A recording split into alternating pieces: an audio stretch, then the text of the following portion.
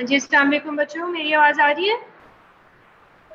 वालेकुम सलाम yes ma'am आ रही है अच्छा अपने ग्रुप में मैसेज करो ज़रा सब कहाँ पे हैं? ज्वाइन करें अपना लेक्चर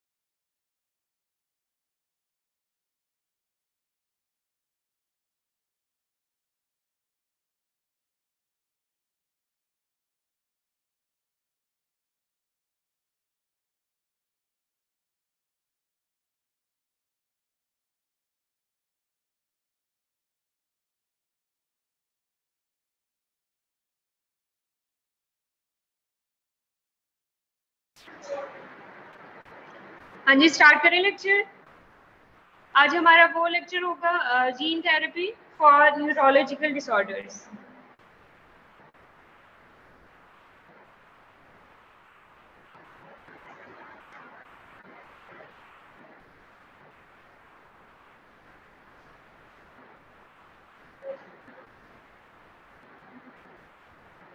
topic को मैंने मॉडिफाई किया है। आप लोगों को जितना जो रिक्वायर है रिक्वायरमेंट है जितनी आपकी, उसके अकॉर्डिंग रहने दिया ठीक है? अब ये मॉडिफाइड वाला जो है मैं आज अपलोड कर दूँगी। आप इसी को आप पढ़ोगे, पिछला वाला जो है उससे नहीं पढ़ोगे। ठीक है? तो न्यूरोलॉजिकल डिसऑर्डर्स पहले आप लोग मुझे बताओ कि क्या होता है। आपकी क्लास एक्टिविटी थी ना? नर्व्स को इफ़ेक्ट करे कौन सी डिज़ीज़ हो सकती है? तो ये स्ट्रोक आ जाता है। स्ट्रोक ठीक है? तो वो जो भी डिजीजेस जो है जो नर्व्स को इफ़ेक्ट कर रही हैं जो ब्रेन को इफ़ेक्ट कर रही है ब्रेन एक्टिविटी को इफ़ेक्ट कर रही है अब ब्रेन आप हमारे सारे सिस्टम जो है वो एसोसिएटेड हैं कंट्रोल्ड हैं बाय द ब्रेन ठीक है? तो अगर ब्रेन इफ़ेक्ट हुआ है नर्व्स इफ़ेक्ट हो रही है तो मतलब हमारा ओवरऑल बॉडी इफ़ेक्ट होगी। हमारे ओवरऑल सिस्टम्स इफ़ेक्ट होंगे। ठीक है? तो इसी तरह से इसकी जितने भी डिजीजेज ब्रेन डिसऑर्डर हैं, वो ओवरऑल हमारी मूवमेंट हमारी स्पीच हमारी डाइजेशन हर चीज़ जो है, वो इफ़ेक्ट होती है। ये सिर्फ़ ब्रेन की डिसऑर्डर सिर्फ़ ब्रेन तक नहीं है, वो पूरी बॉडी आपकी इफ़ेक्ट करेगा। ठीक है तो इसमें मोस्ट कॉमन जो डिजीजेज हैं एल्जाइमर डिज़ीज़ पार्किंसन डिज़ीज़ इसके अलावा है Huntington's disease amyotrophic lateral sclerosis and stroke ठीक है? These are the five basic और मोस्ट कॉमन न्यूरोलॉजिकल डिसऑर्डर्स हैं। कि आगे इनका ट्रीटमेंट जो है ट्रीटमेंट बहुत ज़्यादा नहीं है। बहुत सारी डिजीजेस के सिर्फ़ कुछ फार्माकोलॉजिकल मेडिसिन हैं। कुछ थेरेपीज हैं जो कि ब्रेन डिसऑर्डर्स के लिए हैं। वो भी उसकी प्रोग्रेशन को कंट्रोल नहीं करती प्रोग्रेशन क्या होता है कि डिज़ीज़ के प्रोग्रेस को डिज़ीज़ कंटिन्यू ही रहती है। उसके सिम्टम्स जो है लाइक अगर किसी को जो है, किसी की स्पीच में प्रॉब्लम आ रहा है, अगर किसी को जो है डाइजेशन में प्रॉब्लम आ रहा है, अगर किसी को जो है कोई और, किसी और ऑर्गन का इफ़ेक्ट आ रहा है तो वो उस सिम्टम को कंट्रोल करेगा। उस सिम्टम को कंट्रोल भी किया? उसको बेहतर किया जा सकता है कंट्रोल भी नहीं हो सकता कम्प्लीटली तो वो सिम्टम्स को कंट्रोल करने के लिए डिज़ीज़ प्रोग्रेशन वो भी नहीं कर रहे। ठीक है तो इसलिए फार्माकोलॉजिकल मेडिसिन न्यूरोलॉजिकल डिसऑर्डर्स के लिए बहुत कम है। तो इसलिए आजकल जो न्यू स्ट्रैटेजी किसकी तरफ़ जा रही है? जीन थेरेपी की तरफ़। जीन थेरेपी क्या होती है।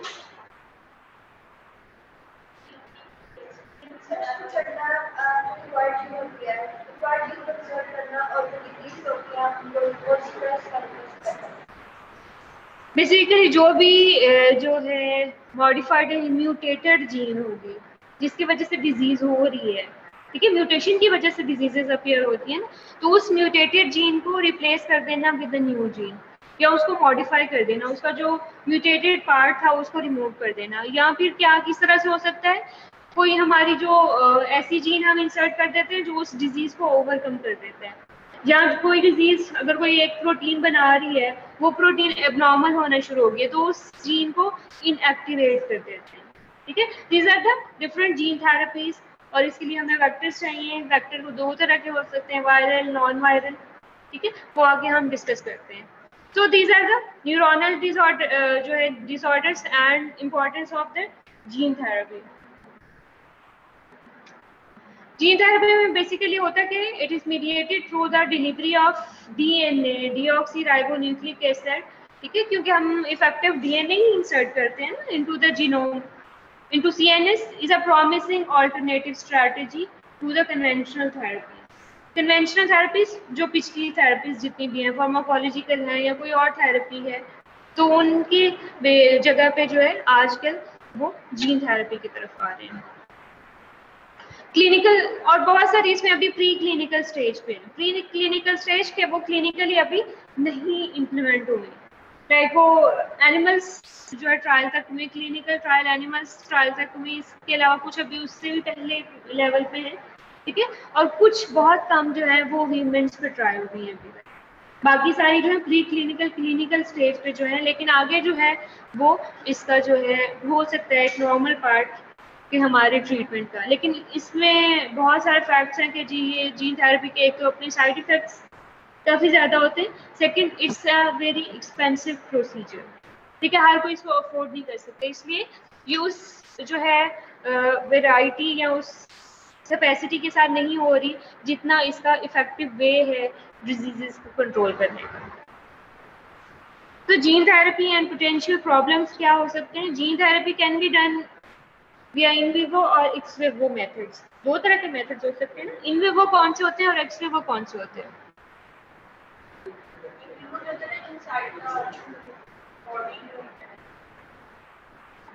हाँ जी, बच्चों, आप लोग बताओ जरा इन विवो और एक्स विवो मेथड्स कौन से होते हैं? हम जीन थेरेपी में पढ़े थे और आपने इसमें भी पढ़े होंगे। मैम इन विवो में डायरेक्ट जीन इंसर्ट कर देते हैं और ex vivo outside the body हम करवा के हाँ जी बिल्कुल। ठीक है ठीक है। इन विवो में क्या होता है कि हम वेक्टर में जीन इंसर्ट करके वेक्टर जो है डायरेक्टली ह्यूमंस में जो है जो भी साइट है उधर इंसर्ट कर देते हैं। फिर वो वेक्टर जो है अपना जीनोम एंटर करेगा उसके साथ वो रिक्वायर्ड हमारी जीन जो है इंसर्ट होगी to the human genome ex वो क्या होता है कि हम उन सेल्स को बाहर निकालते हैं लैब में लाइक ब्रेन सेल्स को अगर हमने करना है ना, वो स्पेसिफिक एरिया के, वो सेल्स लेके उनको लैब में जो है, उसमें वो जीन इंसर्ट करके उसको, उसकी क्लोनिंग करवाते हैं, ठीक है? वो जो रिक्वायर्ड जीन के साथ होगी, उसकी क्लोनिंग करवाते हैं, फिर री इम्प्लांट करते हैं टू दैट ऑर्गन ठीक है? तो इसकी in vivo ex vivo methods जो है, वो दोनों तरह से हम यूज़ कर रहे हैं इसकी therapies in vivo gene therapy involve direct introduction of a therapeutic gene into the target region using viral vector ठीक है, इसमें भी हम वायरल वेक्टर जो है यूज़ करते हैं। बहुत सारे वायरल वेक्टर्स हैं, लेकिन मोस्ट कॉमन जो है एडिनो एसोसिएटेड वायरस जो है, वो इसमें यूज़ हो रहा है। There are a number of viruses being used as vectors and these viruses differ in, differ किससे करते हैं? ट्रॉपिज्म कुछ एक एरिया में होते हैं, एक एरिया में नहीं होते। ठीक है? होस्ट जीनोम उनका जो जीनोम है, वो जीनोम इंटरेक्शन हर एक का इंटरेक्शन एक बेसिक लाइफ साइकिल उनका सेम होता है, ठीक है? लेकिन हर एक इंटरेक्शन जो है वे ऑफ़ इंटरेक्शन डिफरेंट हो सकता है। तो इस तरह से हर वायरस जो एक दूसरे से वेरिएबल होता है। इसके अलावा पैकिंग कैपेसिटी इम्यून रिस्पॉन्स के उसके अगेंस्ट इम्यून रिस्पॉन्स किस तरह का आएगा? इम्यून रिस्पॉन्स एक्टिवेट होगा या नहीं होगा? इसके अलावा टारगेट सेल के जो है उसमें इम्यून रिस्पॉन्स आएगा या नहीं relative viral titer and transduction efficacy मतलब टाइटर कितना होगा, अगर हम उसको उस वायरस को जो है इंट्रोड्यूस करते हैं तो वो कितना जो है हमारी बॉडी में जाके उसकी जो है म्यूटेशन या उसकी ग्रोथ होगी, ठीक है? और वो उसकी ट्रांसडक्शन डिज़ीज़ ट्रांसडक्शन कितनी होगी मतलब उसको इम्यून रिस्पॉन्स कितना आएगा, या वो ट्यूमर लेवल ट्यूमर ग्रोथ तक लेके जा सकते हैं। तो ये सारी चीज़ें जो है वायरस टू वायरस वेरी करती हैं। कुछ के एडवांटेजेस इस पॉइंट से ज़्यादा होंगे, कुछ के कम होंगे, लेकिन जो है, हर कोई एक दूसरे में थोड़ा सा वेरिएबल होगा। एडवांटेजेस में या फिर disadvantages The most widely used one currently seems to be adeno-associated virus. इसमें मोस्टली जितने भी आप जीन थेरेपीज देखोगे उसमें एडिनो एसोसिएटेड वायरस ही यूज़ हो रहा है। क्यों? इसके एडवांटेजेस क्या हैं? Many gene therapy clinical trial rely on it to deliver the desired genes adeno associated virus is a non pathogenic सबसे पहला नॉन पैथोजेनिक है। मतलब डिज़ीज़ कॉज नहीं करता ह्यूमंस में Non-pathogenic है parvovirus with many acknowledged advantages. For example, inherently broad tropism with a capability to infect both dividing and quiescent cells दोनों को इफ़ेक्ट करता है, दोनों में जीन इंसर्ट कर सकता है। डिवाइडिंग में भी और नॉन डिवाइडिंग सेल्स में भी। Absence of viral genes that minimize the livelihood of immune response. इसमें वो जीन्स बहुत कम लेवल की है, जिसकी वजह से इम्यून रिस्पॉन्स आ सकता है। ठीक है? इस तरह से इसके अगेंस्ट इम्यून रिस्पॉन्स भी कॉमन नहीं है। High levels of gene expression and improve stability सबसे इंपॉर्टेंट कोई भी हम वैक्टर यूज़ करते हैं तो उसमें क्या? एक तो उसको जीन एक्सप्रेशन जो वो कराए, वो लॉन्ग टाइम के लिए होना चाहिए। और जो जीन एक्सप्रेशन वो जीन इंसर्ट करे, वो स्टेबल रहनी चाहिए within the human genome ठीक है? वो इनिशिएट कर सकती हो इस ह्यूमन जीनोम में जाके। ठीक है? तो ये इसका जो है इफ़ेक्टिव एडवांटेज है एडिनो एसोसिएटेड वायरसेस इसके साथ हर एक डिसएडवांटेजेस भी हैं।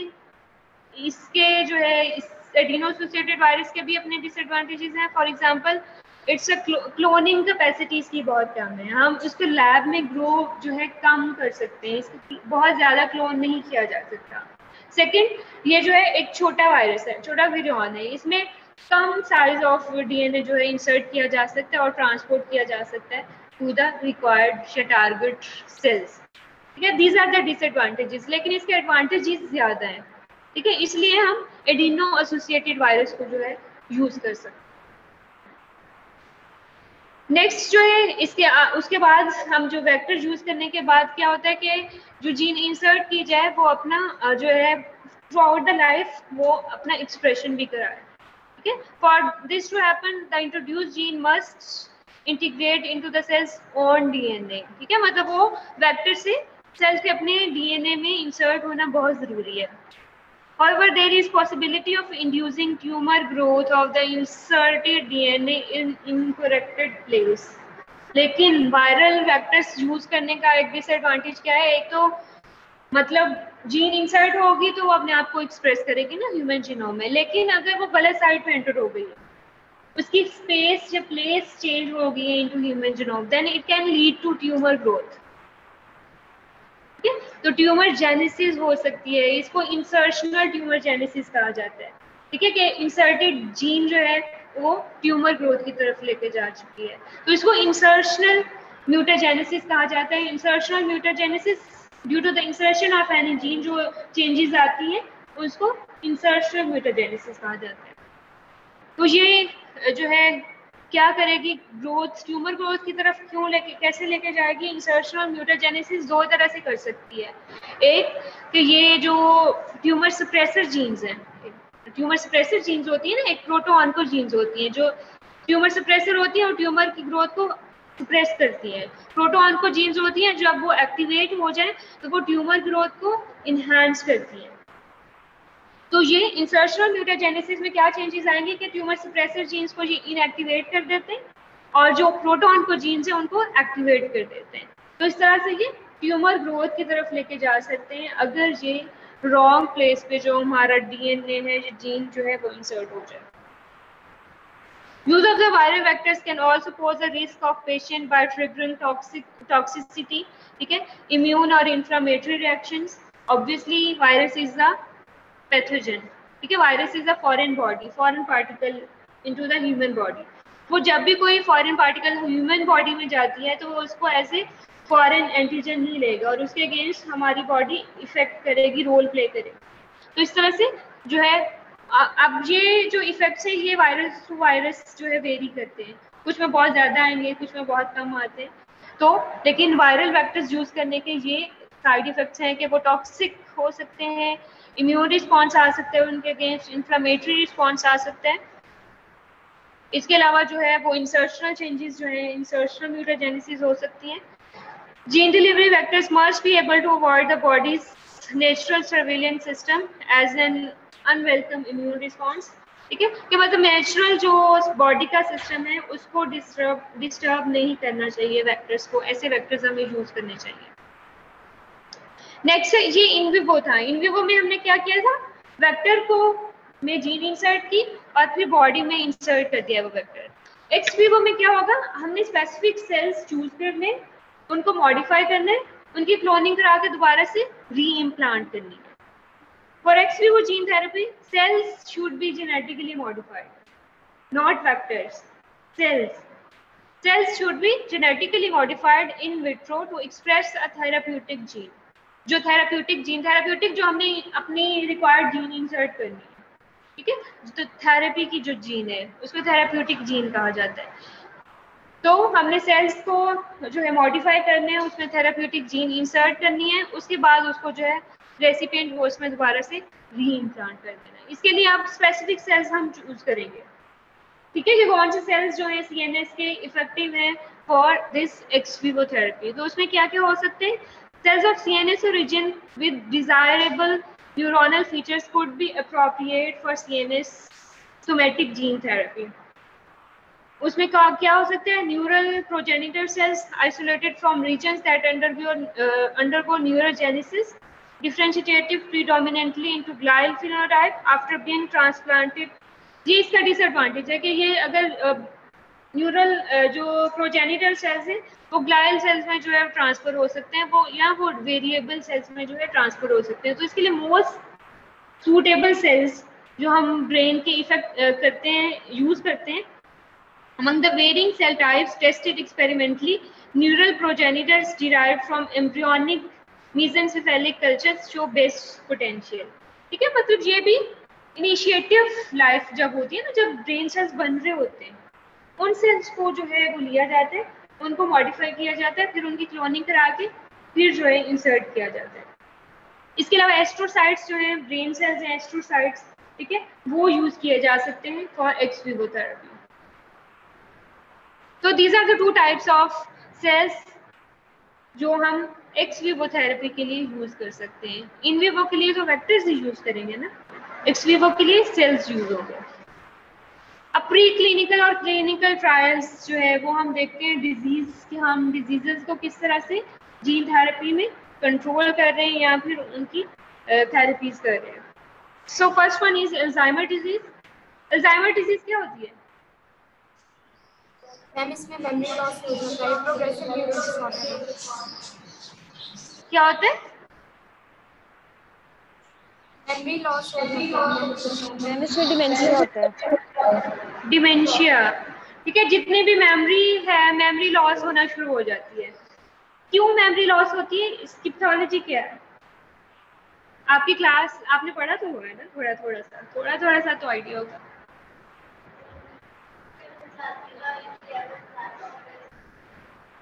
कौन से लेवल अमोइलॉइड डेपोजिशन जो है amyloid beta Alzheimer disease basically क्या है? It's a age related dementiating disease है, ठीक है? एज के साथ जो है मेमोरी लॉस होना शुरू हो जाती है, ठीक है? कुछ में जो है बहुत ज़्यादा इफ़ेक्ट आ जाता है इसका। वो डिपेंड करता है फिर अदर फैक्टर्स पे। तो basically it's a dementiating disorder है मेमोरी लॉस होने की डिसऑर्डर है और इसमें होता क्या है? इसमें अमोइलॉइड बीटा डेपोजिशन होती है। अमोइलॉइड क्या है? अमोइलॉइड क्या है? फैट कोलेस्ट्रॉल है, ठीक है? लिपिड्स हैं लिपिड्स तो अमोइलॉइड क्या है? इसमें अमोइलॉइड बीटा जो है डिपॉजिट वैसे नॉर्मली तो नहीं होता, जब एज के साथ जो है, ये इसकी डेपोजिशन जो है इंक्रीज होने शुरू हो जाती है। इसके अलावा क्या होता है? न्यूरोफिब्रली टैंगल्स जो है, वो ड्यू टू द डेपोजिशन वो बनना शुरू हो जाती है। साइनेप्सिस एंड न्यूरोनल लॉस होना शुरू हो जाते हैं। हर सेल की एक लाइफ साइकिल होती है ना तो इसी तरह से ब्रेन सेल्स भी जो यूज़ होगे, उनके जो है फिर लॉस होना शुरू हो जाता है with the growing age with older age ठीक है? तो इस तरह से ये अल्जाइमर डिज़ीज़ की तरफ़ जो है पेशेंट जा सकते हैं। To date only five drugs for the treatment of Alzheimer disease ठीक है? वो भी क्या है? सिम्टम्स को कंट्रोल करेंगी नॉट द प्रोग्रेशन सिर्फ़ पाँच मेडिसिन हैं जो कि यूज़ हो रही हैं। वो भी सिर्फ़ सिम्टम्स को देखेंगी नॉट प्रोग्रेशन इसलिए जो है जीन थेरेपी की तरफ़ जो है, वो आए हम कि जीन थेरेपी जो है, इसकी होनी चाहिए। तो कॉम्बिनेशन ऑफ़ अमाइलाइड बीटा और सबसे ज़्यादा इसका कौन सा जो है आइसोफॉर्म यूज़ होता है? Particularly X forty two amino acid ऑसीफॉर्म isoform जिसमें जो है फोर्टी टू अमाइनो एसिड्स होंगे। इसको अमाइलाइड बीटा फोर्टी टू भी कहा जाता है।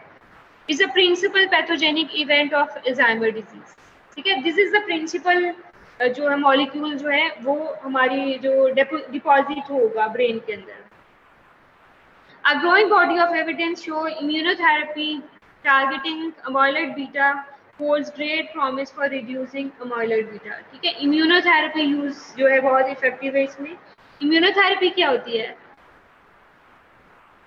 Immune system antigen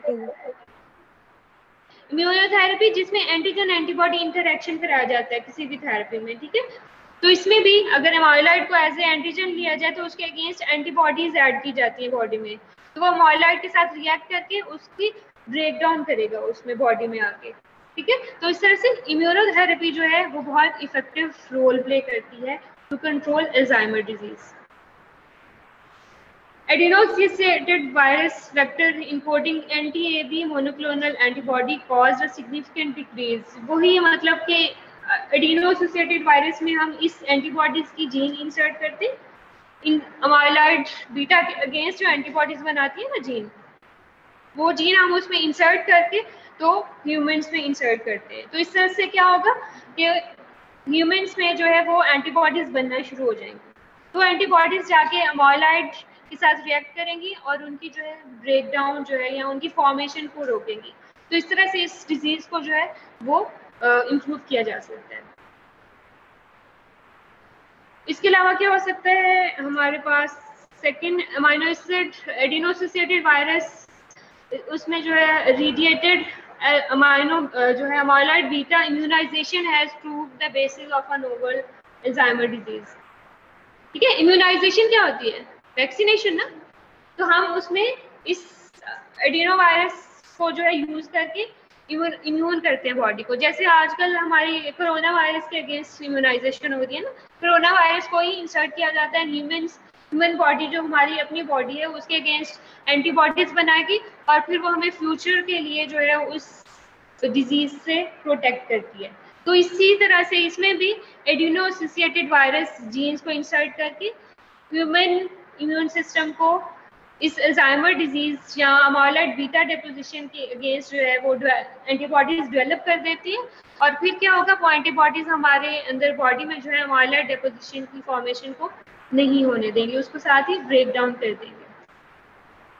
So these are the immunotherapies antibodies develop कर रहे हैं ना इम्यूनाइजेशन भी इम्यूनोथेरेपी है।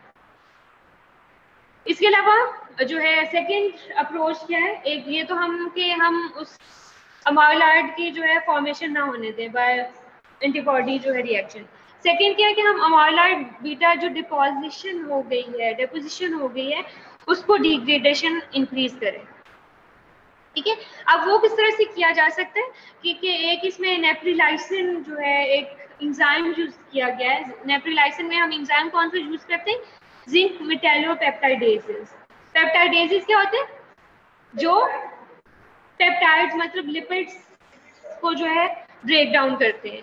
तो ये जिंक मेटेलोपेप्टाइडेज क्या है? इंजाइम है जिसमें zinc as a metal act करती है, ठीक है? तो ये इंजाइम यूज़ किया जाता है ताकि जो डिपॉजिट हो चुका है इमोलाइड उसकी जो है डिपोजिशन को जो है डिग्रेड कर दे वहाँ से। तो इसमें भी जो है एडिनोसोसिएटेड वायरस जीन जो है इंसर्ट की जाती है और वो जो है इस इंजाइम की जो है इंजाइम को इंक्रीज करेगा हमारी बॉडी में और वो जाके जो है माइलॉइड बीटा जो है, उसकी जो डेपोजिशन है, उसको डिग्रेड कर देगी, उसको ख़त्म कर देगी। तो इस तरह से इस डिज़ीज़ को मॉडिफाई किया जा सकता है। ये सेकेंड अप्रोच है इसकी। इसके अलावा थर्ड अप्रोच क्या हो सकती है कि हम सिम्टम्स को इम्प्रूव करें। सिम्टम्स को इम्प्रूव करने के लिए हमने डिफरेंट ग्रोथ फैक्टर्स यूज़ किए इसमें। Insulin insulin like growth factors ठीक है? ये बेसिकली ग्रोथ फैक्टर्स है, इसके फ़ंक्शन जो इंसुलिन लाइक होते हैं। इंसुलिन की तरह इसके फ़ंक्शन होते हैं। इसलिए इसका नाम जो है इंसुलिन लाइक ग्रोथ फैक्टर रख दिया गया है। इंसुलिन लाइक ग्रोथ फैक्टर्स जो है इंसर्ट किए जाते हैं, वो क्या करेंगे? वो मेमोरी को इन्हांस करने के लिए यूज़ होते हैं। ये मेमोरी लॉस होती है ना इसमें? तो ये इंसुलिन लाइक ग्रोथ फैक्टर्स जो है मेमोरी को जो है इन्हांस करते हैं। इनका ये फ़ंक्शन है। तो इस तरह से उनको इंट्रोड्यूस करेंगे ताकि जो उसकी सिम्टम है मेमोरी लॉस उसको कम किया जा सके। इसके अलावा सेकेंड ग्रोथ फैक्टर्स क्या यूज़ कर सकते? हैं nerve growth factor nerve growth factor जो है, वो भी इंट्रोड्यूस कराया जा सकता है to control the symptoms of memory loss वो किस तरह से करेंगे कि ये करता है enhance function and survival of forebrain cholinergic neurons basically जो इंजाइमर डिज़ीज़ में इफ़ेक्ट होती हैं, जो नर्व्स हमारी इफ़ेक्ट होती है कोलिनर्जिक न्यूरॉन्स होती हैं, ठीक है? तो ये न्यूरल जो ग्रोथ फैक्टर है उसके सर्वाइवल को इंक्रीज करता है। उन नर्व्स को न्यूरॉन्स को तो न्यूरॉन्स को सर्वाइवल को इंक्रीज करेगा तो ऑब्वियसली मेमोरी लॉस जो है, वो इम्प्रूव होगी। तो ये दो तरह के जो है ग्रोथ फैक्टर्स हम यूज़ कर सकते हैं। इसके अलावा साइटोकाइंस यूज़ करते हैं। It's also play important role वो किस तरह से कि Alzheimer disease basically inflammatory process भी तो हो रहा होता है ना? तो साइटोकाइंस में हम इंटरल्यूकिन वन और टेन यूज़ करते हैं मोस्टली क्योंकि वो एंटी इन्फ्लेमेटरी होते हैं। तो जो ब्रेन में इन्फ्लेमेशन का प्रोसेस हो रहा होता है इन द अल्जाइमर डिज़ीज़ जिसमें न्यूरॉन्स जिसकी ब्रेकडाउन जिससे इन्फ्लेमेशन से ही होती है ना न्यूरॉन्स की ब्रेकडाउन तो वो जो इन्फ्लेमेशन को जो है स्टॉप करते हैं। तो इस तरह से हम इन ग्रोथ फैक्टर्स को यूज़ करके इसको, इसके सिम्टम्स को इम्प्रूव कर सकते हैं। This is the third approach first क्या थी कि हम अमाइलॉइड फॉर्मेशन को जो है ब्लॉक करें। सेकंड क्या थी? उसकी डिग्रेड डिपोजिशन जो जो हो चुकी है, उसको डिग्रेड करें। थर्ड क्या है कि हम उसके सिम्टम मेमोरी लॉस को ही इम्प्रूव कर दें अब नेक्स्ट फोर्थ इसकी एक अप्रोच है। फोर्थ अप्रोच क्या है कि अमाइलॉइड क्या है बेसिकली इट्स एन कोलेस्ट्रॉल तो हम कोलेस्ट्रॉल फॉर्मेशन ही जो है, उसकी मेटाबॉलिज्म जो है, उसको इम्प्रूव करें कि कोलेस्ट्रॉल जो है, वो ज़्यादा बने ही ना। अब कोलेस्ट्रॉल नहीं बनेगा बॉडी में तो ऑब्वियसली उसके डेपोजिशन भी नहीं हो सकता। ठीक है? ग्रोइंग एज ओल्डर एज में क्या होता है? कोलेस्ट्रॉल लेवल बहुत ज़्यादा इंक्रीज हो गया हाइपरटेंशन हो गई, उससे क्या होता है? कोलेस्ट्रॉल लेवल ज़्यादा होने की वजह से उसके डिपोजिशन वेसल्स में ओवरऑल बॉडी में भी जो है होने शुरू हो जाते हैं और ब्रेन में जाके भी डिपोजिशन स्टार्ट हो जाती है। ठीक है? तो अगर हम ओल्डर एज में भी इसको कंट्रोल करें कोलेस्ट्रॉल लेवल को कोलेस्ट्रॉल मेटाबॉलिज्म को तो इसको इम्प्रूव किया जा सकता है मॉलर डेपोजिशन से बचाया जा सकता है। This is the fourth approach the development of Alzheimer disease is closely connected with cholesterol metabolism cholesterol increase the production and deposition of amyloid beta peptidase that result in the formation of amyloid plaques, a hallmark of the pathology. Pathology यही है ना कि amyloid deposition होती है तो cholesterol जितना ज़्यादा होगा amyloid amyloid deposition जो है उतनी ज़्यादा होगी both genetic inactivation and pharmacological inhibition of the cholesterol ester synthetic enzyme ये enzyme है basically cholesterol acyl transferase इसकी जीन है ACAT1 ये enzyme क्या करते हैं कोलेस्ट्रॉल बायोसिंथेसिस में इन्वॉल्व होता है कोलेस्ट्रॉल फॉर्मेशन में इन्वॉल्व होता है ठीक है तो अगर हम इस इन जीन को इनएक्टिवेट कर दें ठीक है कोलेस्ट्रॉल फॉर्मेशन जो है वो ना हो तो इस तरह से हम इसको जो है प्लाक फॉर्मेशन को रोक सकते हैं and it, this gene has shown benefit in mouse model of Alzheimer's disease. Adeno-associated virus-mediated ACAT1 gene knockdown. अब इसमें हम क्या करेंगे नॉकडाउन करेंगे इस जीन का। जो हमारी बॉडी में जीन है ACAT1 जो basically acyl transfer cholesterol acyl transferase enzyme के लिए है। और ये इंजाइम किसमें इन्वॉल्व है? कोलेस्ट्रॉल फॉर्मेशन में। तो अगर हम इस जीन को ही नॉकडाउन कर दें इनएक्टिवेट कर दें तो क्या होगा? वो इंजाइम ही नहीं बनेगा, जिसकी वजह से कोलेस्ट्रॉल फॉर्मेशन हो रही है। तो इस तरह से कोलेस्ट्रॉल नहीं बन रहा। मतलब कोलेस्ट्रॉल नहीं बन रहा तो फिर डेपोजिशन भी नहीं होगी ऑब्वियसली तो ये this is the fourth approach कि हम कोलेस्ट्रॉल फॉर्मेशन की जो है, वो उसको ब्लॉक कर दें।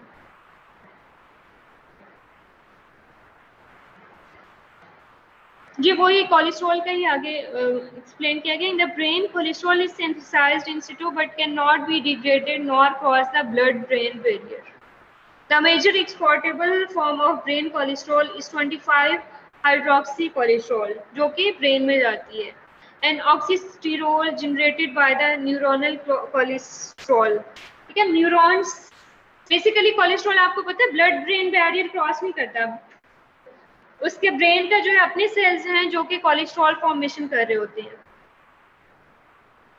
Injection of adeno associated virus encoding इसकी जो प्रॉपर जीन है C Y P forty six A one in the cortex and hippocampus जो है, इसने रोल प्ले किया है कि जी इसकी, ये कोलेस्ट्रॉल फॉर्मेशन जो ब्रेन में उसको इफ़ेक्ट कर सकता है। तो इस तरह से हम डायरेक्ट या इनडायरेक्ट वे से जो है, वो अल्जाइमर डिज़ीज़ को कंट्रोल कर सकते हैं बाय यूजिंग जीन थेरेपीज इसमें कोई क्वेश्चन है अल्जाइमर डिज़ीज़ की जीन थेरेपी में तो पूछ लो आप लोग। हाँ जी, बच्चों, आप लोगों का कोई क्वेश्चन है? मैम ये ब्लड ब्रेन बैरियर का कांसेप्ट सही समझ नहीं आया। किसका? ब्लड ब्रेन बैरियर का जो आपने कहा ना कोलेस्ट्रॉल एंटर नहीं होती तो अगर एंटर नहीं होती तो मैम ये सारा इफ़ेक्ट कैसे होता? है ब्लड ब्रेन बैरियर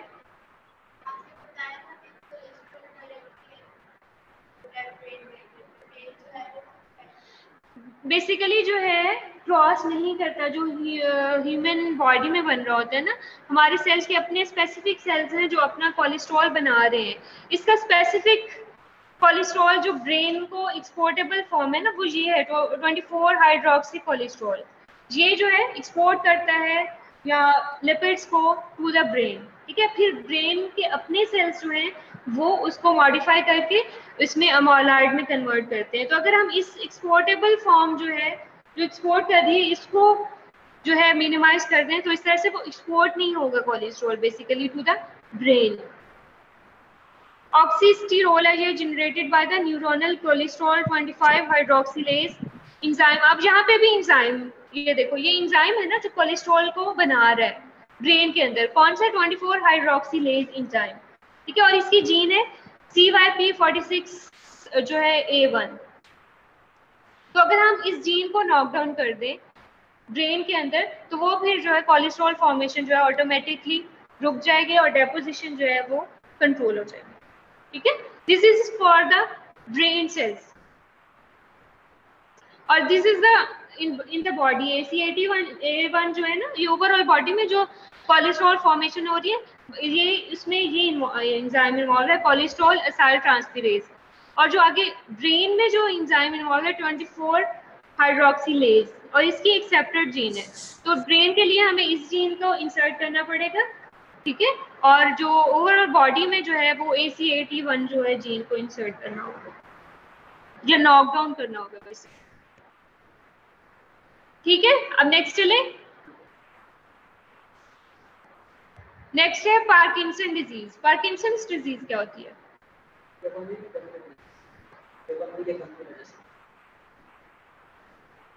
और आप लोग बताओ जरा पार्किंसंस डिज़ीज़ क्या होती है? ये डिजेनरेटिव डिसीज होती है। डोपामीन के लेवल कम हो जाते हैं मूवमेंट भी कम हो जाती है पेशेंट डोपामिन में क्या होता है?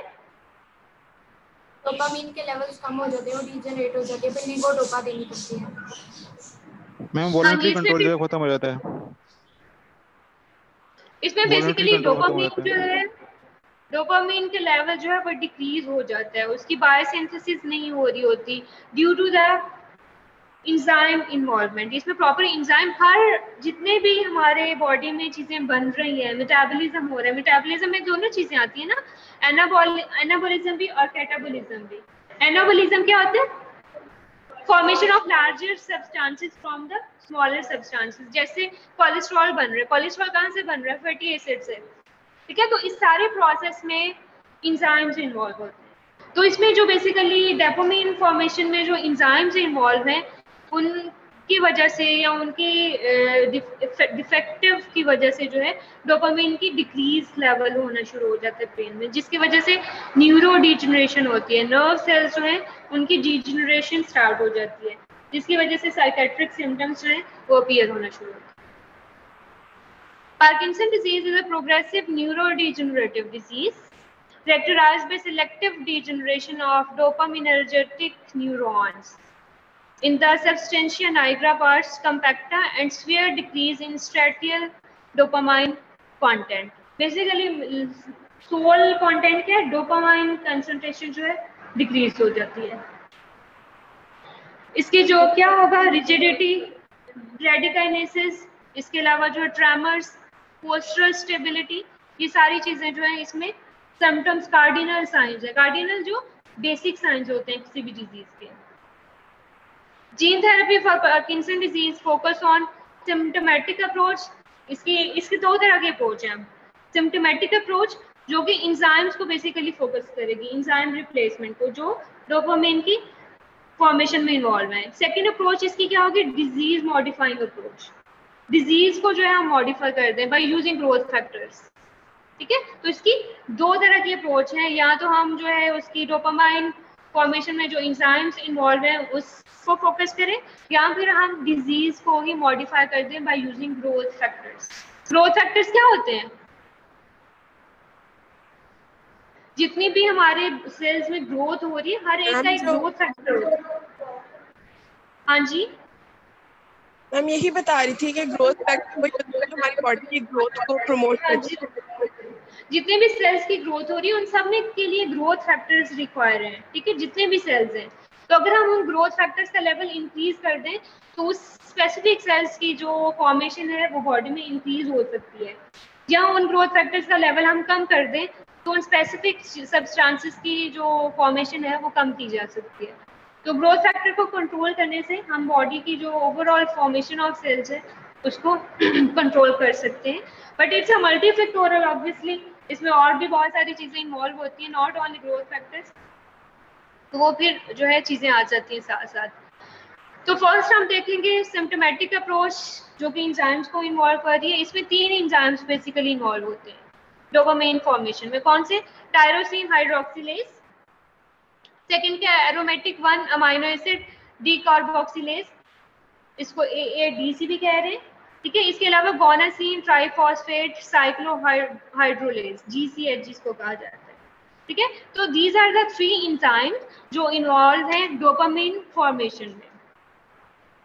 These are the key enzyme for dopamine biosynthesis.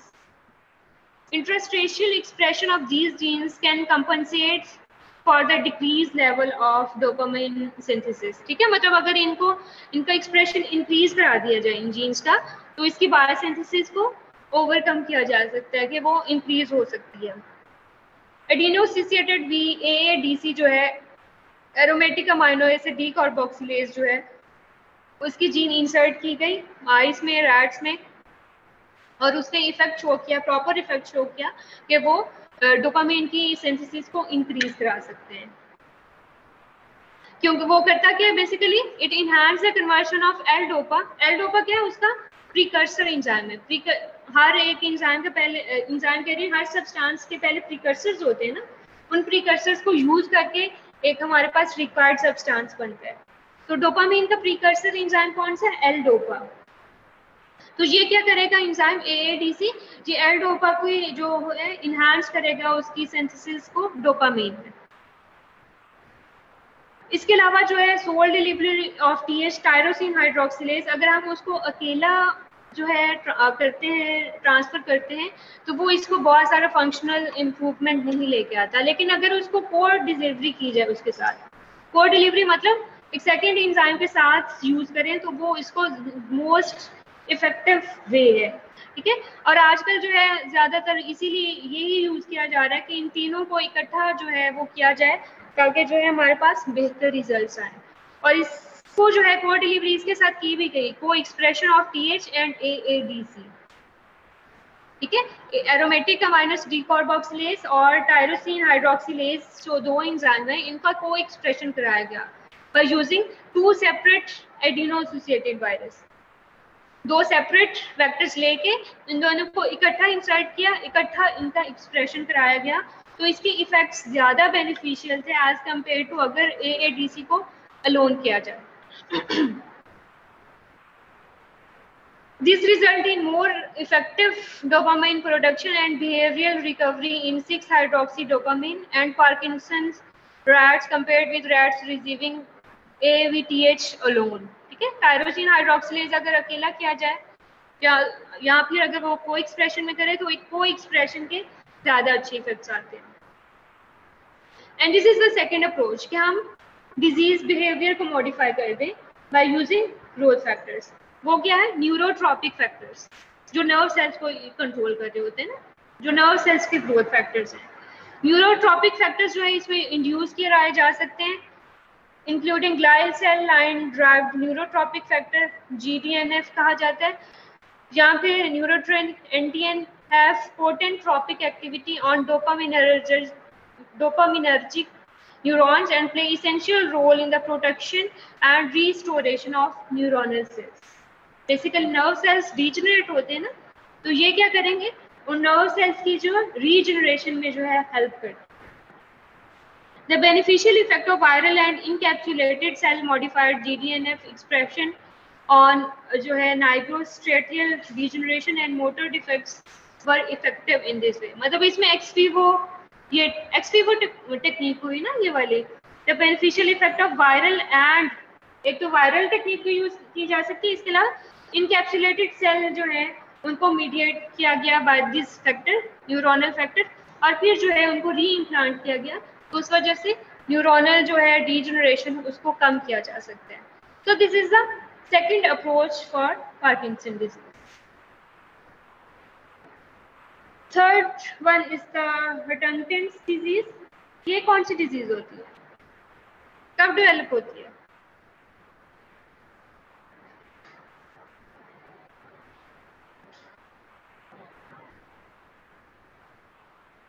Basically हेटांगटन disease जो है एच जीन है, ठीक है? उसमें डिफेक्ट की वजह से जो है इन्वॉल्व होती है। इस डिफेक्ट की वजह से वही न्यूरो डिजनरेशन स्टार्ट हो जाती है, ठीक है? और मोटर नर्व्स जो है मोस्टली जो है, वो डैमेज होती है इससे Huntington disease is an autosomal dominant neurodegenerative disease. ठीक है? Cause ऑटोसोमल क्या होता है?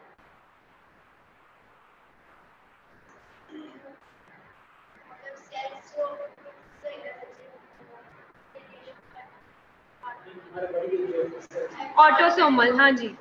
बॉडी के अपने सेल्स जो हैं, वो डी न्यूरो डिजेनरेशन की तरफ़ ले जाते हैं। कौन से cell like cause by C A G trinucleotide के इसमें एच जीन जो है, उसमें सी ए जी जो ट्राईन्यूक्लियोटाइड है, उसकी रेपिटेशन हो जाती है। म्यूटेशन आ जाती है, जिसकी वजह से ये डिज़ीज़ डेवलप होती है। वो क्या करता है? इस रेपिटेशन की वजह से क्या होता है? कि ये इस रेपिटेशन की वजह से ये जो जीन है, वो ट्रांसलेट हो जाएगी into expanded polyglutamine tract the corresponding protein वो प्रोटीन जो है नॉर्मली फॉर्मेशन होना शुरू हो जाएगी। Clinical feature of Huntington disease are progressive movement disorder इसके अलावा कॉग्निटिव इम्पेयरमेंट जितनी भी हमारा कॉग्निशन लेवल है परसेप्शन का लेवल है, वो इम्पेयर हो जाएगा and psychiatric disturbance there is no effective therapy for Huntington disease yet hence, urging the need to develop novel therapeutic strategies. अभी तक कोई इफ़ेक्टिव इसकी नहीं आई थेरेपी लेकिन इसको कंट्रोल किया जा सकता है because it's a single gene disorder एक जीन की वजह से डेवलप हो रही है तो हम इसको लेके आ सकते हैं, इसकी थेरेपी आ सकती है इन फ्यूचर और जो कि कंट्रोल कर सकती है इसकी डिज़ीज़ को। आज जो इसके लिए मोस्टली यूज़ हो रही है, वो आरएनए की जो है आरएनए वेरिएंट्स यूज़ हो रहे हैं। लाइक हमने कुछ आरएनए की टाइप्स पढ़ी थी, जो इंटरफेरेंस आरएनए थे। ठीक है? इंटरफेरेंस या शॉर्ट इंटरफेयरिंग आरएनए भी थे ना? क्या फ़ंक्शन होता है उनका? शॉर्ट इंटरफेयरिंग आरएनए आरएनए की टाइप है। हम्म क्या फ़ंक्शन होता है?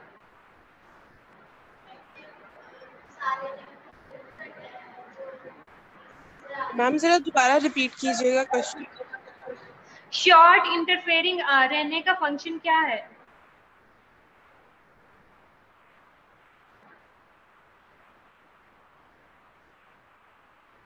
Small interfering RNA short interfering RNA और interfering RNA is the same thing इनका फ़ंक्शन क्या था कि जब एक जीन अपने आप को एक्सप्रेस करती है इनटू द मैसेंजर आरएनए तो ये आरएनए इसमें कैपेसिटी होती है कि वो उस मैसेंजर आरएनए को डिग्रेड कर सकते हैं इंटरफेयर कर सकते हैं उसकी, जो है वो इंटरफेरेंस करते हैं उसके साथ कि वो अपनी प्रोटीन फॉर्मेशन नहीं होती उससे, ठीक है? तो इसलिए हम इनको स्मॉल इंटरफेरेंस आरएनए कहते हैं। इंटरफेरेंस क्या होता है? किसी भी काम में इंटरफेयर करना ना तो ये इंटर स्मॉल इंटरफेरेंस आरएनए क्या करते हैं बेसिकली जो मैसेंजर आरएनए बना है, उसको डिग्रेड कर देते हैं, इस तरह से जीन एक्सप्रेशन को इंटरफेयर कर देते हैं। जीन का एक्सप्रेशन नहीं होने देते ब्लॉक कर सकते हैं किसी भी जीन के एक्सप्रेशन को। तो इसमें बेसिकली हम R N A small interfering R RNA जो है, वो इंट्रोड्यूस करा सकते हैं, जो इस जीन इस म्यूटेटेड जीन के एक्सप्रेशन को ब्लॉक कर सकती है। तो this is the only sole treatment that is available for the Huntington disease और ये भी प्री क्लिनिकल क्लिनिकल अभी स्टेजेस पे। Reducing mutant H expression may offer a treatment for Huntington disease R N interference that blocks production of the dysfunctional H ठीक है? R N interference का function अगर आपको पता है कि वो ब्लॉक कर सकता है किसी भी जीन के एक्सप्रेशन को, ठीक है? हमने उस वक्त भी पढ़ा था कि आप ये थेराप्यूटिक यूज़ में यूज़ हो रहे हैं, आर इंटरफेयरिंग आरएनए तो इस तरह से हम उस, इस डिसफंक्शनल जीन के एक्सप्रेशन को ब्लॉक कर सकते हैं। तो this is the gene therapy for Huntington disease next है एमायोट्रोपिक लेटरल स्क्लेरोसिस ये भी बेसिकली जो है डिजनरेटिव डिज़ीज़ है लिम्स की पेरिफ्रीज की। ठीक है मूवमेंट जो है और लिम मूवमेंट जो है इसमें इम्पेयर होती है ALS is also referred as low Gallus disease is characterized by a progressive degeneration of lower and upper motor neurons. Okay, in the cerebral cortex, brainstem, and spinal cord. Their neuronal loss cause weakness, spasticity, and muscular atrophy, and eventually leads to death within two to five years of onset, generally due to respiratory failure. ठीक है? Basically nerves की movement को control कर रही है ना ये ये डिज़ीज़ जो मोटर नर्व्स हैं न्यूरॉन्स हैं उनका लॉस होना शुरू हो जाते हैं। ठीक है? तो जब वो मसल्स जो हैं वो इफ़ेक्ट हो जाएँगे due to that neuronal nerves ठीक है? जो अपर मोटर न्यूरॉन्स और लोअर मोटर न्यूरॉन्स उनमें से कुछ ऑब्वियसली लंग्स को भी जो है नर्व्स नर्व इम्पल्शन दे रहे हैं। तो नर्व्स के जो है डीजनरेट होने की वजह से रेस्पिरेटरी फेलियर हो सकता है और ये डिज़ीज़ जो है स्वेयर डिज़ीज़ है कि इसमें डेथ भी हो सकती है pathogenic mutation in superoxide dismutase and TAR-DBP gene encoding TAR DNA binding protein for uh, 43 are widely known to be associated with amylotropic disease ठीक है मतलब इसमें सुपर कुछ इंजाइम्स हैं जो कि नहीं बन रहे होते, जो ऑक्सीडेंट हमारे जब भी कोई मेटाबॉलिज्म होते है तो उसमें ऑक्साइड रेडिकल्स भी बनते हैं। सुपर ऑक्साइड रेडिकल्स आपने पढ़े होंगे, ठीक है? जो कि बॉडी में वैसे जो है, उनको न्यूट्रलाइज कर दिया जाता है। स्पेसिफिक इंजाइम्स होते हैं।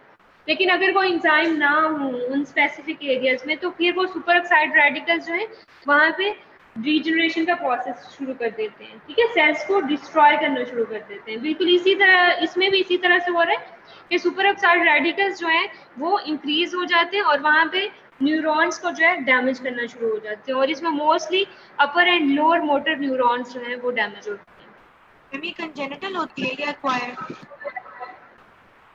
ये जो है एक्वायर्ड भी हो सकती है कंजेनिटल भी हो सकती है। एक्वायर्ड होती है तो फिर इसके कॉजेस क्या होते हैं? मतलब मोस्टली जो है लाइक जैसे Alzheimer disease it's an acquired आप कोलेस्ट्रॉल जो है वो हो सकता है। कोलेस्ट्रॉल इंक्रीज होने की वजह से। उसके बाद जो है पार्किंसन डिज़ीज़ जो है उसमें फिर क्या हो सकती है वो? कंजेनिटल या क्या थी वो? वो एक्वायर्ड भी हो सकता है।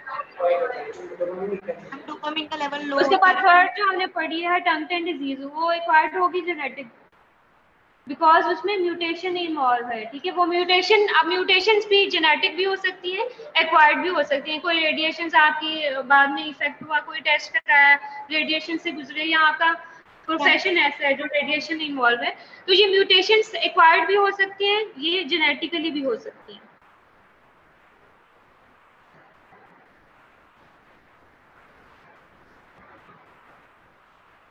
ठीक है तो ये भी एक्वायर्ड भी हो सकती है जेनेटिकली भी हो सकती है। या तो जीन लेवल में ही वो इफ़ेक्ट आ जाए, या फिर उसका जो बायोसिंथेसिस प्रोसेस है, वो बाद में इन द लाइफ जो है, वो इफ़ेक्ट हो जाए। The only therapy approve for the treatment of A L S is riluzole and anti glutamatergic है that block pre synaptic release of glutamate, which can slow the loss of strength in limb muscles. Basically, इसकी जो therapy अभी आई है वो सिर्फ़ limb muscles की movement को इम्प्रूव करेगी। वो भी और सिर्फ़ फ्यू मंथ्स का जो है वो हमारा इंक्रीज करेगी ड्यूरेशन ऑफ़ लाइफ उस पेशेंट का। ठीक है? मतलब इसमें कोई ऐसी लाइफ लॉन्ग थेरेपी अभी नहीं आई होगी इस डिज़ीज़ की।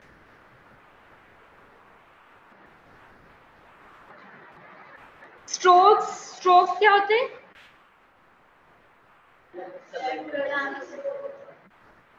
हम जब ब्रेन को अ, नहीं जाती टीचिंग या ब्लड सप्लाई तो डेथ होना शुरू हो जाती है तो वो स्ट्रोक को स्ट्रोक कॉज करती है कि उसमें पैरालिसिस भी हो सकता है और इवन की डेथ भी हो सकती है। बेसिकली स्पेसिफिक सेल्स या सेल पार्ट को जो है ब्लड सप्लाई जो है ब्लॉक हो जाती है ठीक है? वो या तो किसी वेसल के ब्लॉक होने की वजह से हो सकती है या ड्यू टू द इंजरी कि वहाँ पे कोई वेसल जो है बर्स्ट हो गई है, वहाँ पे जो हिमाटोमा बन गया है और फिर नेक्स्ट सेल्स को जो है ब्लड सप्लाई रुक गई है।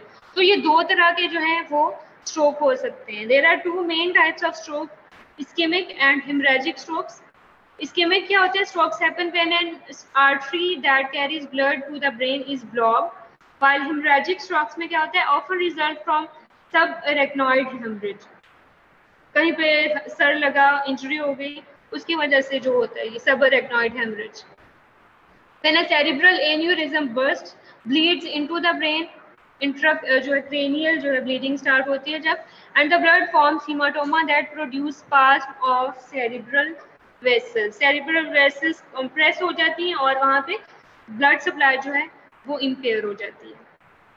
जीन ट्रांसफ़र अप्रोच में reduce effects of cerebral ischemia और सब रेक्नॉइड हेमरेज ठीक है? जीन ट्रांसफ़र इसको इम्प्रूव कर सकती है। इसका भी कोई लाइफ टाइम जो है अभी तक वैसी थेरेपी नहीं है। इस्कीमिक इंड्यूस एपोप्टोसिस इसमें अब क्या एपोप्टोसिस को इंक्रीज कर दिया जाता है? यहाँ पे एंटी इन्फ्लामेटरी जो है साइटोकाइंस यूज़ किए जाते हैं। एपोप्टोसिस को क्यों? क्योंकि वो जो वो जो ब्लॉक बना हुआ है बेसिकली उसमें भी तो सेल्स ही है ना? तो उन सेल्स की प्रोग्राम सेल डेथ जो इंक्रीज कर दी जाती है by using factors proper factors proper genes ठीक है? और इसके साथ जो है ऐसी जीन्स भी इंसर्ट की जाती हैं इसके साइड इफ़ेक्ट से बचाने के लिए कि ह्यूमन जो सेल्स हैं, बाकी नॉर्मल सेल्स वो इसके इफ़ेक्ट से मिनिमाइज रहें, ठीक है? उन पे ज़्यादा इफ़ेक्ट ना हो। इसके अलावा जो इन्फ्लेमेशन का प्रोसेस होता है, उसके लिए एंटी इन्फ्लामेटरी जो साइटोकाइंस जो है, वो यूज़ किए जा सकते हैं। Intracranial injection of an adeno virus factor over expression neuronal apoptosis inhibitory protein reduce ischemic damage in the rat hippocampus injection of recombinant adenoviral vectors carrying human sensitive to apoptosis gene के humans में apoptosis gene के sensitive gene जो है जो apoptosis ना कराए ताकि brain cells जो है वो कम से कम जो है वो इफ़ेक्ट हो वो इंसर्ट की जा सकती है ताकि एपोप्टोसिस ज़्यादा ना हो protected brain cell from ischemic brain injury क्योंकि जब ब्लड सप्लाई नहीं होती तो क्या होता है? ब्रेन सेल डेथ होना शुरू हो जाती है ना? तो इसलिए एपोप्टोसिस ऐसी जीन्स जो है इंसर्ट की जाती हैं कि एपोप्टोसिस जो है सेल्स की नॉर्मल डेथ जो है, वो ना स्टार्ट हो जाए। इसके अलावा adeno associated virus mediated BCL2 and BCLW genes में वो डिलीवर की जा सकती है बिफोर इस्कीमिया ताकि जो है डिलेड इस्कीमिक न्यूरोनल डेथ जो है न्यूरोनल सेल्स की जो डेथ है, उसको डिले किया जा सके। मतलब हेमरेज तो हो गया, लेकिन आप जो डेथ है रेट वो बहुत ज़्यादा हो रहा है, ये कम हो रहा है इस पर आगे लाइफ जो है डिपेंड करेगी। तो ये इनके जो सेल डेथ है, उसको डिले किया जा सकता है। It can effective in reduction in infarct size जो इन्फाक्शन होगा, जो वहाँ पे जो है साइज़ जो है सेल्स जो है इफ़ेक्ट होंगे, उस साइज़ को जो है कम किया जा सकता है।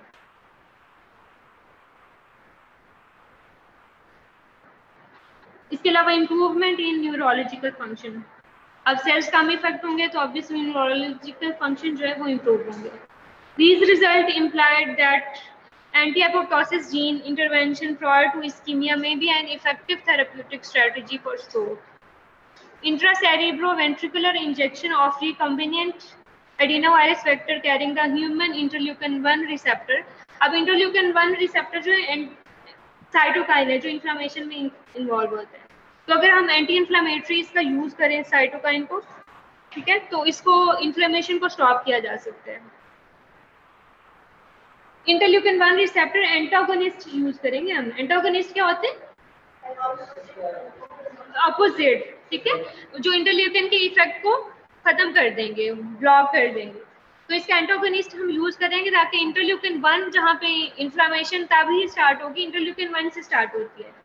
इंटरल्यूकिन वन फिर अगले साइटोकाइंस को जो है, वो मोटिव एक्टिवेट करता है, फिर वो अपना इफ़ेक्ट करते हैं। इस तरह से एक्टिव इन्फ्लामेशन का प्रोसेस स्टार्ट होता है।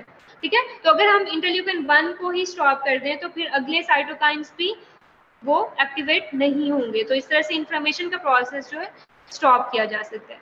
तो इसमें हम एंटी इन्फ्लामेटरी जो है, वो यूज़ कर सकते हैं, ताकि इन्फ्लामेशन जो है, उसको मिनिमाइज किया जाए। इसके अलावा न्यूवेस्कुलराइजेशन को इम्प्रूव किया जा सकता है। ये क्या? एक वेसल्स डैमेज हो गई हैं। तो उनकी दोबारा से रीजनरेशन जो है एनजियोजिनेसिस जो है, उसको इम्प्रूव किया जा सकता है। ऐसे सेल्स ऐसे ग्रोथ फैक्टर्स इंट्रोड्यूस कराए जाएँ कि इस्कीमिया के बाद या स्ट्रोक के बाद जो वेसल्स डैमेज हुई हैं, उनकी दोबारा से रीजनरेशन हो जाए।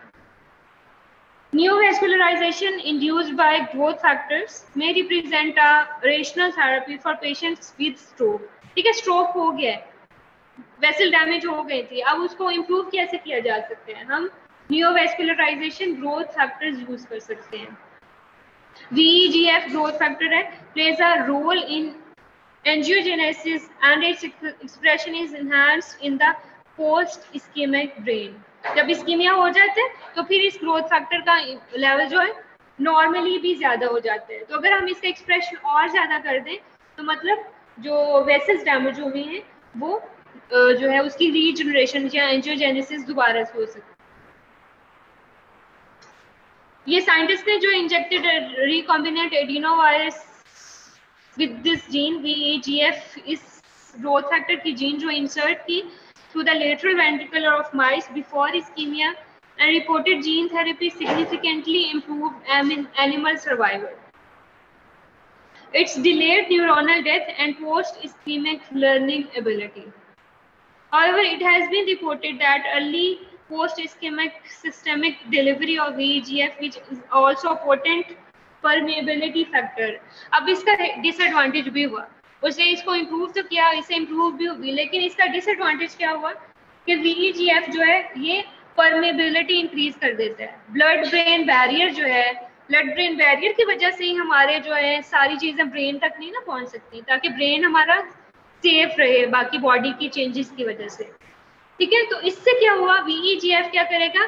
परमेबिलिटी इंक्रीज कर देगा, जिसकी वजह से वाटर जो है और डिफरेंट जो हमारे, हैं डिफरेंट न्यूट्रेंट्स जो हैं, वो इजीली चले जाएँगे ब्रेन के अंदर। तो इस वजह से एडिमा स्टार्ट हो जाएगा ब्रेन का। एडिमा क्या होता है? इंक्रीज इन इंटरस्टिशियल फ्लूड ठीक है वाटर कॉन्टेंट फ्लूड कॉन्टेंट ज़्यादा हो जाता है ठीक है? तो इस तरह से ब्रेन एडीमा स्टार्ट हो गया था तो this is the disadvantage of this using this growth factor many growth factors have been reported to have neuro protective effect of brain ischemic injury इसके अलावा भी ग्रोथ फैक्टर्स हैं जो यूज़ हो रहे हैं। However, only a few genes of these neutrophins, including BDNF, GDNF, and NGF, have been delivered via our recombinant adenovirus vectors for stroke gene intervention. ठीक है मतलब और भी जीन है, लेकिन कुछ ही अभी ग्रोथ फैक्टर्स यूज़ हुए हैं, जो कि इसको इम्प्रूव कर सकते हैं।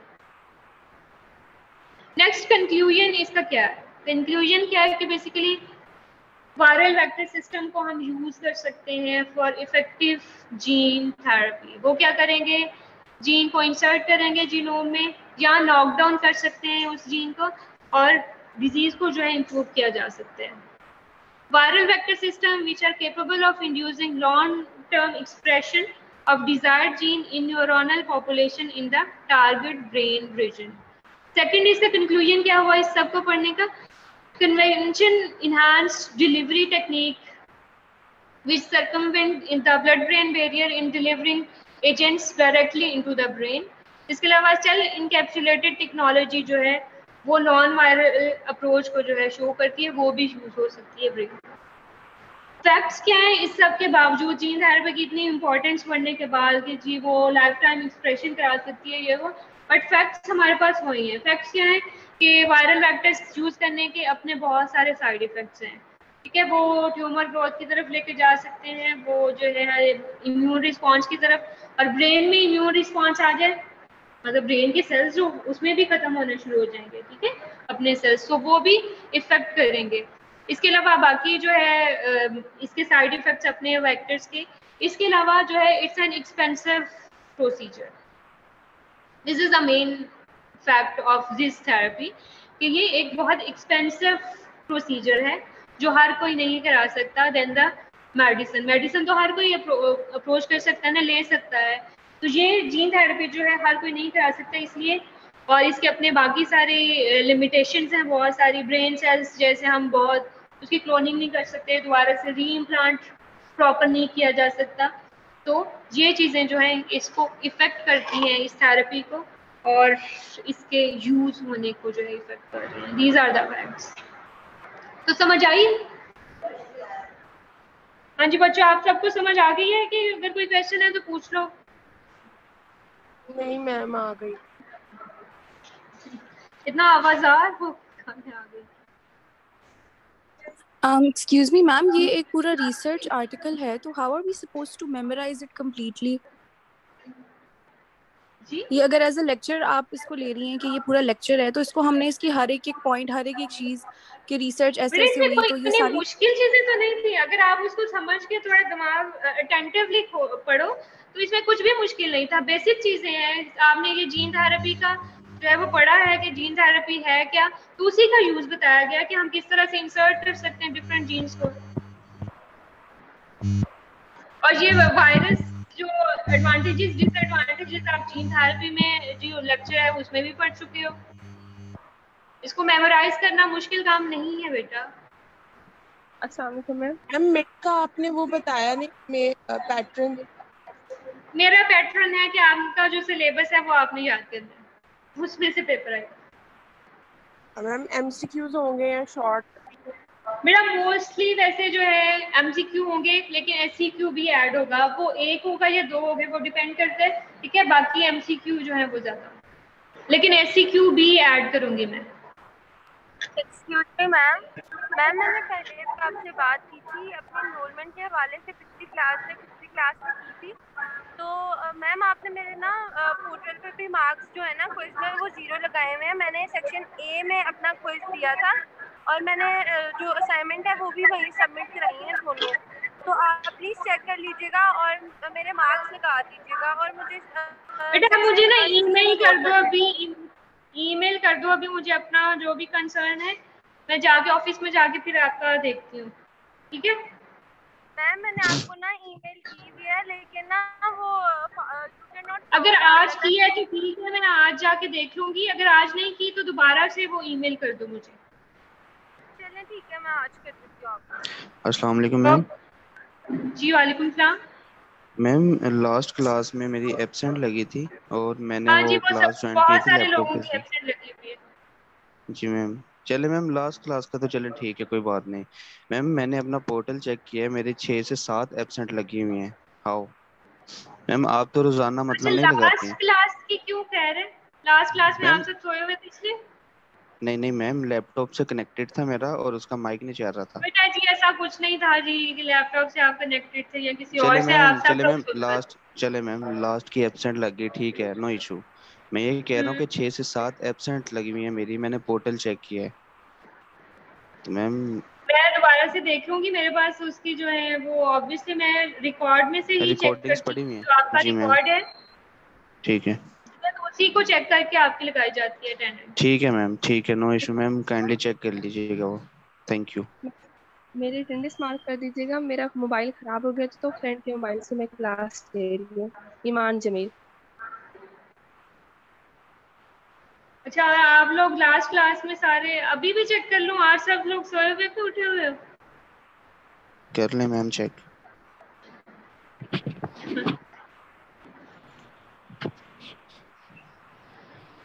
मैम हाँ जी। मैम मेरी अटेंडेंस मार्क कर दीजिएगा। एम ईमान जमील मेरा मोबाइल बेटा मैं के अटेंडेंस ले लेना। पीछे करूँगी आपके रिकॉर्ड से चेक कर लूँगी जिस जिसने किया हुआ चेक बट मैम मेरा यहाँ पे नेम मेरी फ्रेंड का नेम शो हो रहा है तो फिर मेरे नेम से लगा लीजिएगा क्योंकि मेरा मोबाइल खराब हो गया था। जी? सर यहाँ मैम यहाँ पे जो नेम शो हो रहा है वो मिशाल यूनिस शो हो रहा है वो मेरी फ्रेंड का मोबाइल है तो मेरा नेम ईमान जमील है। आप फिर ईमेल कर दो मुझे जरा मुझे याद नहीं रहेगा मेरे पास 400 स्टूडेंट्स हैं। ओके मैम मैम हमारा 50 मार्क्स का मिड होगा। बेटा मैं आप सबको ये बता दूँगी आप अपना सिलेबस पढ़ो काइंडली जो आप लोगों का काम है, जो आप लोगों का सिलेबस है वो याद करो। उसमें से दस नंबर का है या बीस नंबर का है दैट्स नॉट मैटर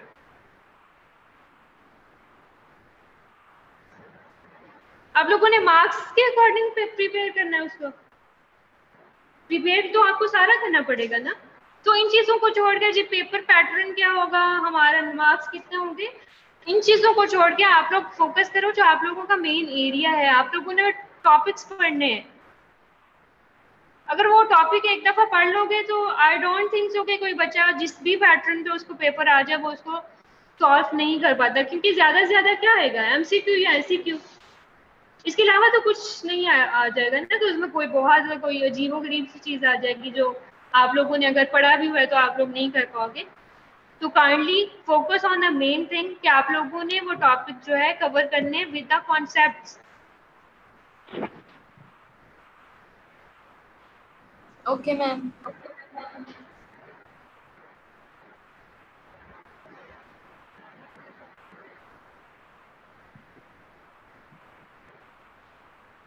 हाँ जी कोई और क्वेश्चन है? नहीं मैम चले ठीक है फिर आप सब लोग अपना ख्याल रखिएगा। ओके अल्लाह हाफिज़।